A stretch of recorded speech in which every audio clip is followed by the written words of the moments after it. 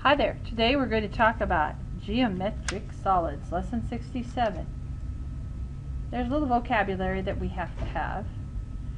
Um, geometric solids are solids that take up space, something that you could actually fill up with something. Um, there's a whole lot of different kinds of solids. Uh, not all of them are rectangular, as we see here. This is a sphere like the Earth. A cone has a round bottom but a pointed top.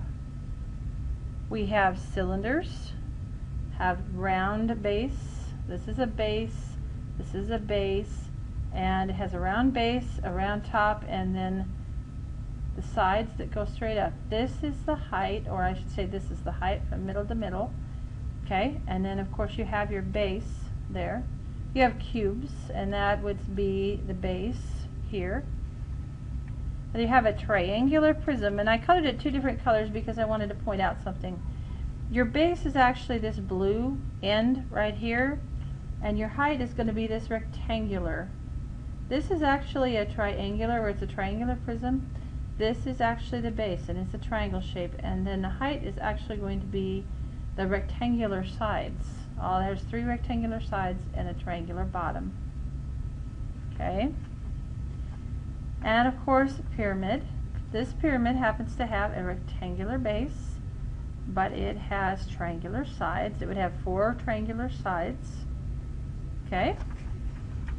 Not too bad. I'm sure you're kind of aware of these already.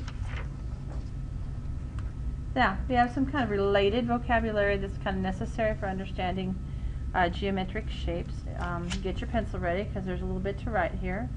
We have polyhedrons. Polyhedrons have all flat surfaces, cubes, prisms, pyramids. Non-polyhedrons have some flat sides and they have some sides that are rounded. For example, cones, spheres, and cylinders.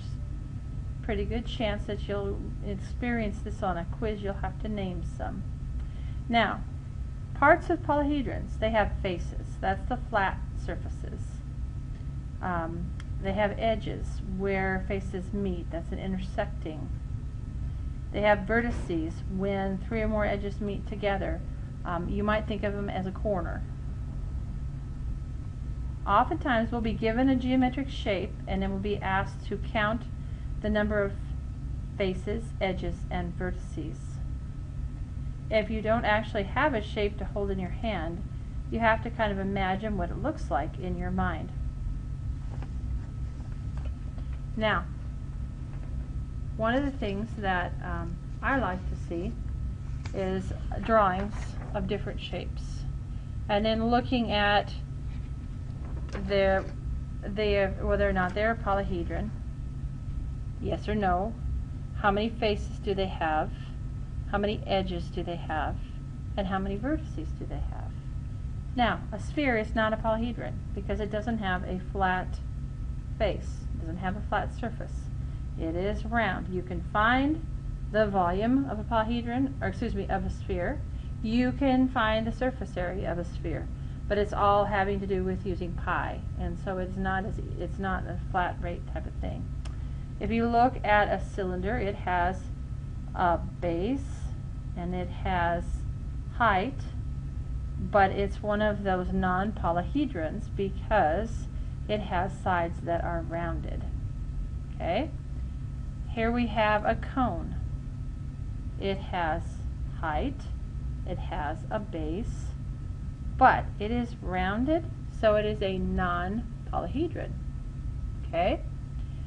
This is a cube, or you could even call it a rectangular prism. It does have height, length, width. It has faces. Right here, these would be vertices. Okay, so you could label those vertices back here, you can't see it, but I've drawn so they're like see-through. There's more vertices. So how many vertices do we have?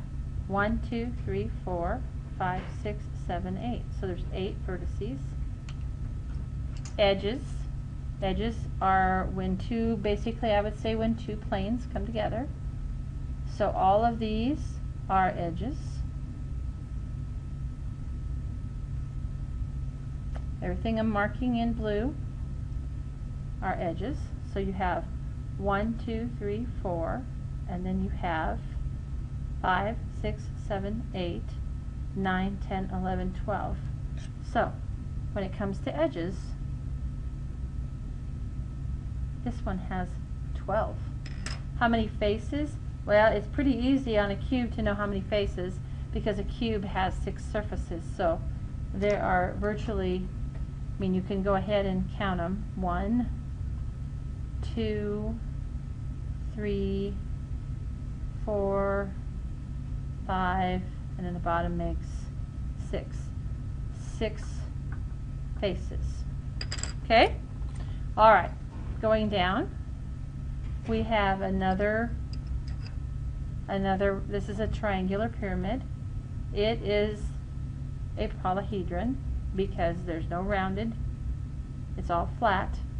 All of these faces are flat. Here's your base right here. And it's in the shape of a triangle. It's a triangular pyramid. Okay, so you have one, two, three, four faces. So I guess we'll, start like we did with the other one as far as vertices. You have a vertice here, a vertice here, a vertice here, and a vertice here. So you actually have four vertices. Okay. Edges, you have you have an edge here, edge here, edge here, that's three, four, five, six. So we have six edges, okay? And then faces, we have the front face, which is hard for us to imagine. You have the back two faces, so that's three. And then you have the bottom, so that's four. You got four faces. Okay, now there's three more here. I would love to see you figure those out for yourself. I think that having this exercise in your head is a really, really good thing. It's a good thing to be able to do it. Uh, just note, for importance, here's your base on this particular one. Okay? This would be your base. And for this one, you're looking at this as base. And for this one, this as a base. Hopefully that'll help you. I'd like to see you go through and um, actually label how many vertices, how many edges, how many faces. Now, um, there's another exercise that I'd like to see us do um, when it comes to uh, polyhedrons, and that is to be able to mentally spin a shape around a line of symmetry and create a new shape. So if you hook a square like this, put a line of symmetry down the middle, and then mentally spin it around. Spin it, spin it, spin it. This is going to be the center spinning it around implies that it is going to have a circular top. Okay, so you're spinning and you're spinning and here's your circle and that's your center and you're spinning it around this line of symmetry and you're spinning and you're spinning and you are creating a cylinder. Okay, here's another one. You're going to spin that around a line of symmetry. The top's going to be a point. It's not going to be open like this one was as far as you're not going to be creating a circle. But look at this bottom. A vertice could be like this. Not really a vertice, but and there's your edge of your spin, and you're going to spin it around and around and around. So what's that bottom going to turn out to be like? Hmm. And of course this last one, oh my gosh, I, I would think you could probably figure that one out on your own. These two, these are your challenge problems for this particular lesson. I want you to draw what they would look like once they've been spun. I helped you with the top one. Now it's your job to figure out the other two. I hope this was helpful. Have a super day and I'll talk to you later.